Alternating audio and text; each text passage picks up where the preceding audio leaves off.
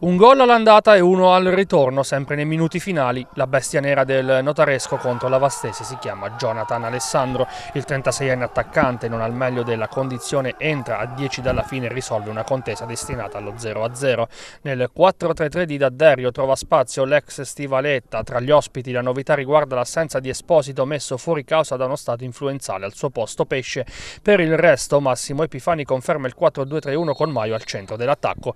Agli ordini di Castello Castellone di Napoli. Le due squadre danno vita subito a una gara animata, soprattutto per merito della Vastese che già all'ottavo crea il primo presupposto per sbloccare il match. Errore in uscita della retroguardia rosso-blu che libera Lonzi in area di rigore ma la sua conclusione mancina è presa facile di Shiba. Due giri di lancette a sbloccare l'incontro ci prova Stivaletta ma il suo tiro forte non inquadra lo specchio per un niente.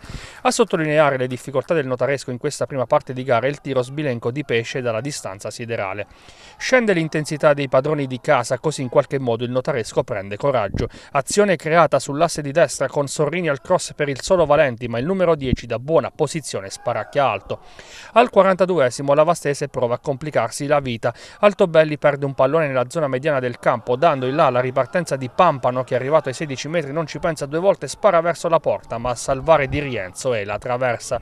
L'azione poi si conclude con un nulla di fatto. La ripresa non gode della stessa vivacità della prima frazione, allora i due mister provano a mescolare le carte in tavola. Epifani richiama in panchina Pesce per inserire Scimia, mentre Dadderio sceglie Ficara a fargli spazio a Lonzi.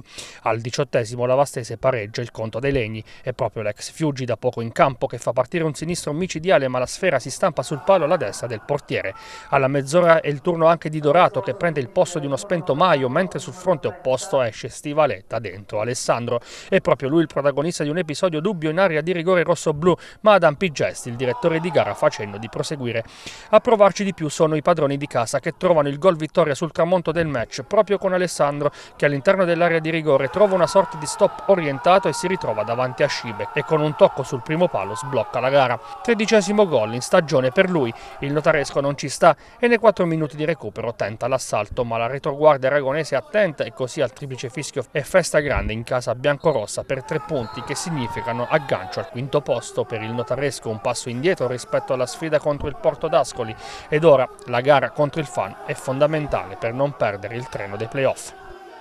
Ma sì, una partita intensa contro un'ottima squadra, penso che Notaresco negli anni abbia costruito sempre ottime squadre e quindi uh, siamo stati anche agevolati, loro hanno avuto anche un turno infrasettimanale, quindi sicuramente uh, noi verso la fine avevamo forse qualcosa in più, però de devo riconoscere che eh, Notaresco ci ha dato filo da torcere, uno che ha fatto 13 reti, nonostante i, tre, i, suoi 36 anni, eh, se c'è qualche problemino lo dobbiamo gestire, eh, però quando ce l'abbiamo sappiamo che abbiamo un'arma in più, non abbiamo solo in lui l'arma in più, lo abbiamo con Stivaletta, ce l'abbiamo con uh, uh, Ficara e quindi quando hai alternative eh, non cambi una punta per un difensore, cambi una punta per una punta.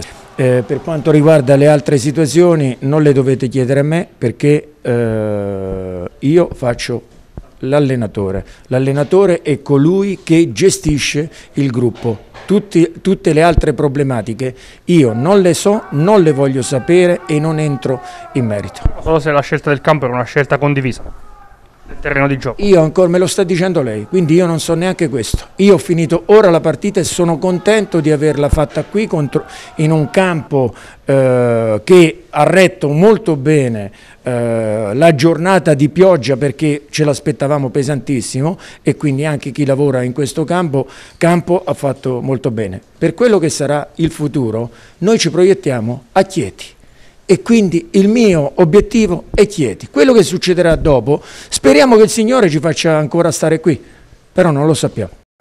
Io credo che il primo tempo la squadra ha fatto una grande gara, il secondo tempo c'è stato un pochettino di più la, la Vastese sotto l'aspetto della pressione, però abbiamo dato anche il secondo tempo situazioni dove dobbiamo fare meglio nelle scelte delle giocate perché poi siamo arrivati tante volte eh, potenzialmente azioni da gol e il primo tempo l'abbiamo fatto tante volte, siamo, siamo, stati poco bravi, diciamo così, per non dire egoisti, eh, però credo che oggi la squadra ha fatto una grande gara.